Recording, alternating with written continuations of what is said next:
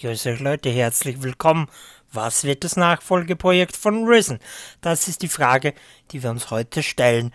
Und zwar habe ich für euch drei Spiele zur Auswahl gestellt und von denen könnt ihr mir sagen, was ihr bald auf meinem Kanal von mir Let's Play 10 haben wollt oder so. Und zwar äh, diese Spiele werde ich euch jetzt gleich einen Tra Trailer von dem jeweiligen einblenden und ihr schreibt dann einfach in die Kommentare, was ihr wollt.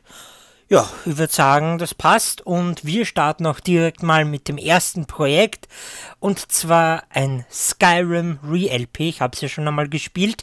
Wir würden alles machen, was ich nicht gemacht habe und die zwei DLCs Dawnguard, Dragonborn und das Nicht-Story-DLC Headfire spielen. Ja, das wäre die erste Option.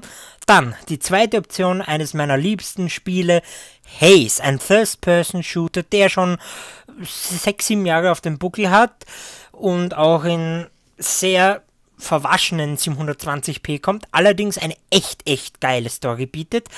Also entweder das oder das oder die dritte Möglichkeit, das Rollenspiel, das sehr emotionale japanische Rollenspiel Nino Kuni.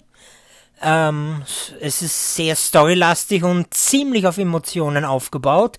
Soweit ich mich erkundigt habe von diesen drei Spielen, kenne ich eigentlich Skyrim und Haze. Nino Kuni wäre für mich blind außer der ersten Stunde aber die anderen beiden habe ich schon einmal gespielt, wobei in Skyrim ich die beiden DLCs noch nicht angefasst habe. Haze kenne ich fast auswendig, also zumindest vom Groben her. Und jetzt, wie könnt ihr voten? Ganz, also voten, ich sage immer voten. Wie könnt ihr voten? Und zwar ganz einfach, ihr schreibt mir einfach in die Kommentare, welches Spiel ihr sehen wollt. Also entweder Skyrim, Haze oder Nokuni. Ja, das ist was eigentlich. So einfach kann es gehen und welches Spiel die meisten Stimmen bekommt, das wird demnächst, wenn Risen vorbei ist, auf meinem Kanal gezeigt.